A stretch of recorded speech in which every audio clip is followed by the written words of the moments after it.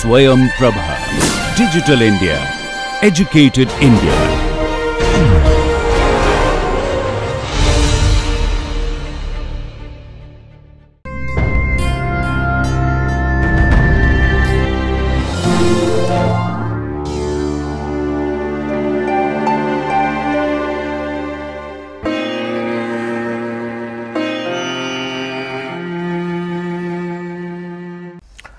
Hi everybody, this is uh, Dr. Ravindra Maradi, Associate Professor in the Department of Biochemistry, Kasturba Medical College, Manipal.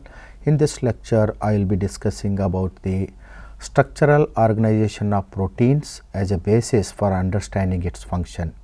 I will be giving emphasis on hemoglobin and collagen structure. Before moving into how uh, the hemoglobin and collagen structures help in their functions, we will look into the different structural organization of proteins, how the proteins are organized. we have different uh, structures of proteins in that uh, is the one is the primary structure of the protein. Primary structure of protein is nothing but is a linear chain of amino acids joined by one another by the peptide linkages.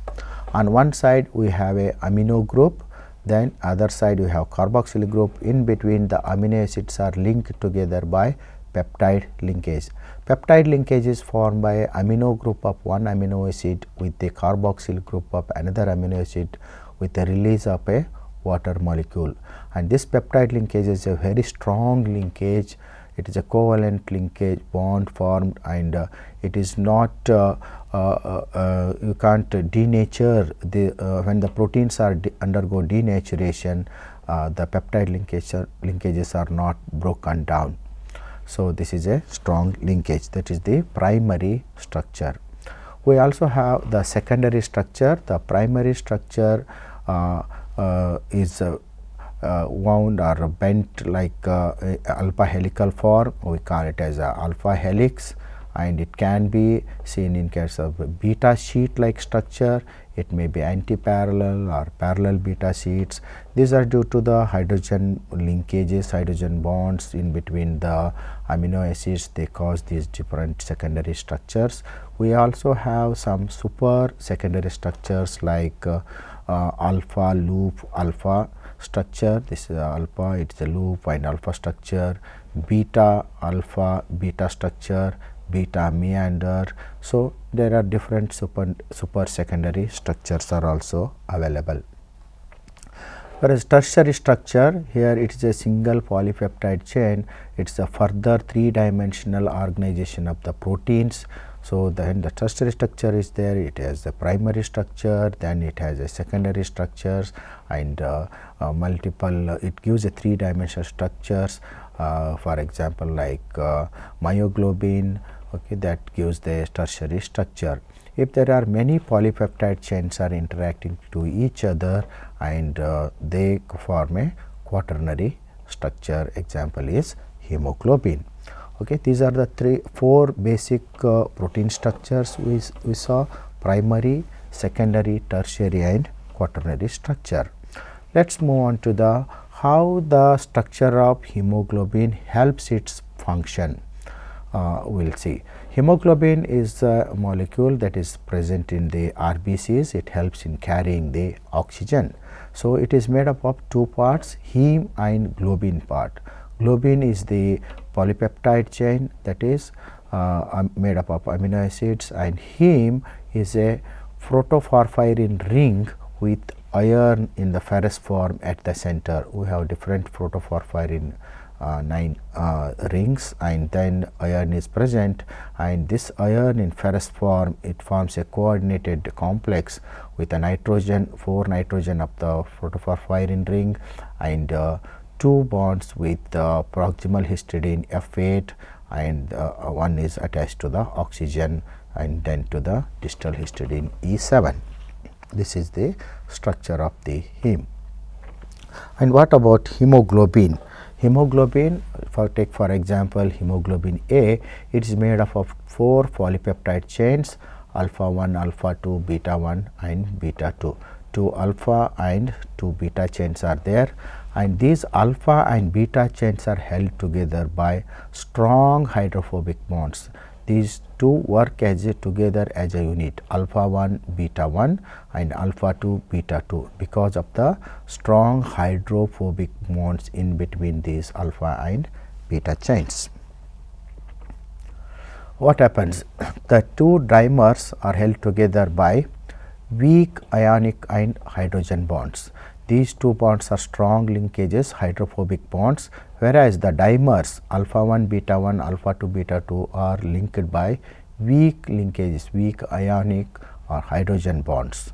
So, the hemoglobin is present in two, two forms one is T or taut form and another is R or relaxed form. In the T form it is uh, uh, deoxyhemoglobin form. Oxygen is not attached in the T form because it has got a low oxygen affinity in the T form.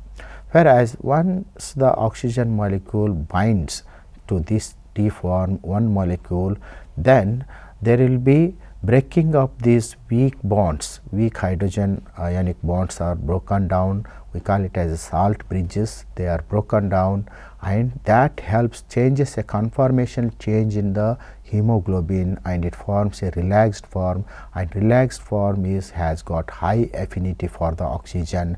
In a cooperative manner the uh, binding of first oxygen is little bit difficult, but further the, the oxygen binding is more easily it is bound to the hemoglobin in the R form. So, when you see at the oxygen dissociation curve in the x axis it is the partial pressure of oxygen in the y axis is the percent saturation of the oxygen. If you see at the 100 percent uh, PO2 level that is at the lungs the for almost all hemoglobin is 100 percent saturated. When the PO2 drops down in the tissue level around 40 it releases the oxygen to the tissues. So, it is bound completely in the uh, lungs and then it is given back to the tissues at the partial pressure of oxygen decreases. So, how it helps, how that oxygen binding helps in this uh, cooperative binding and what are the changes it causes when the uh, binding of the first oxygen to the this uh, histidine of F8 histidine, it binds to the iron of that uh, histidine and it pulls that iron pulls the iron molecule which has bound to the distal histidine uh, F8 and then it pulls that iron into the plane porphyrin plane and this causes the uh, breaking of the salt bridges and uh, that will change a conformational change in the hemoglobin molecule and more of it converts T form into R form and there is a high affinity for the oxygen. That is how this structure helps in its function that is binding up the oxygen. So, this proximal histidine and other residues they move into the plane of porphyrin ring and breaking the salt bridges and converting that T form of hemoglobin into R form.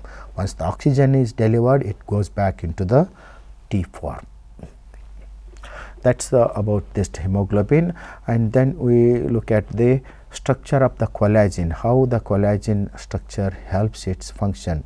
The basic function of collagen it gives uh, it is a fibrous protein, it gives a tensile strength to the uh, tendons or it may be in present in different tissues in the gel uh, matrix.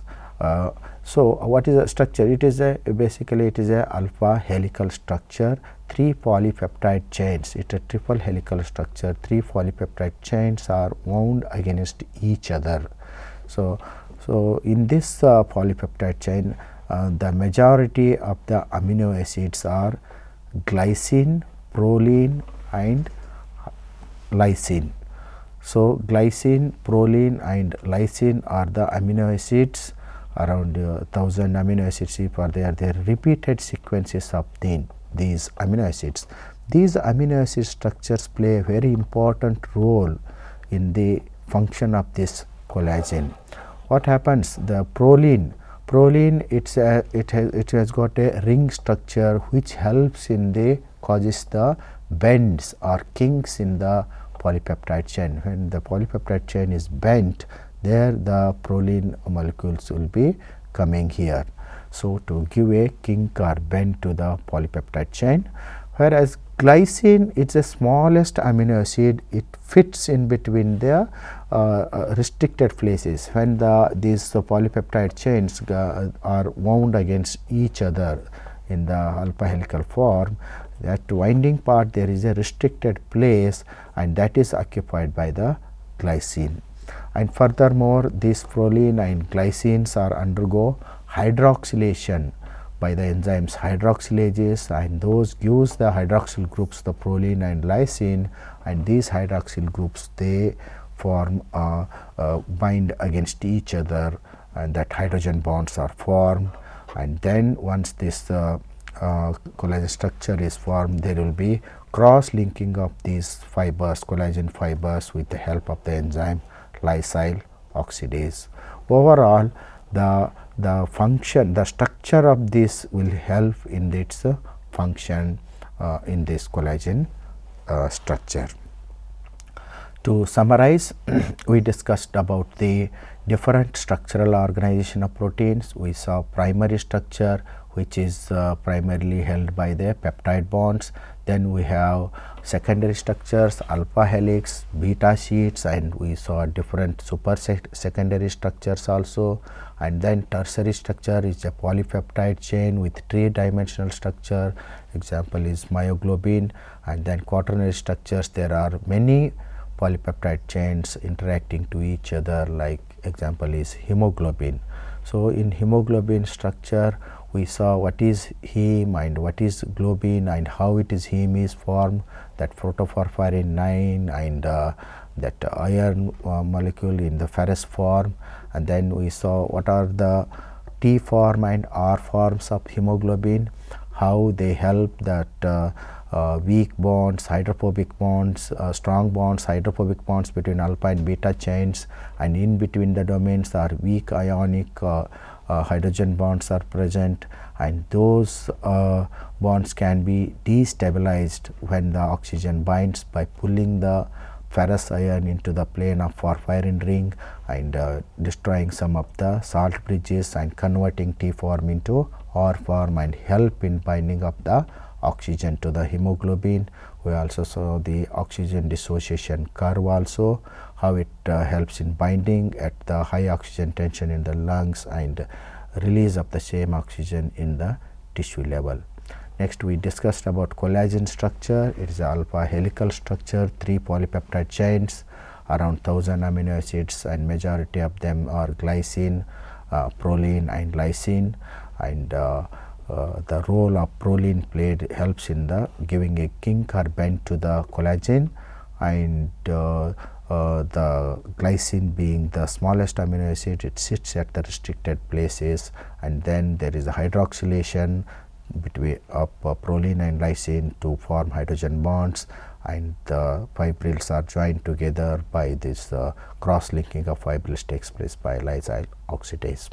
I hope this uh, lecture will help you to understand this different structural organization and its uh, how it plays its uh, role in functioning of that molecules. Thank you.